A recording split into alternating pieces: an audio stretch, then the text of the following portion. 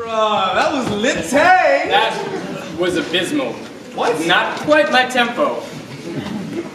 Anyway, do you imbeciles even know if you were Russian or if you were dragon? Russian? Nah, I was born in America. USA! USA! USA! Dragon? Just because I have long blonde hair doesn't mean I have anything to do with dragons. Very funny. Alright, alright, alright, listen. If you want to take your skills to the next level, we have to move on. It's time for the next lesson. Um, and a cash advance of $14.95. You thought.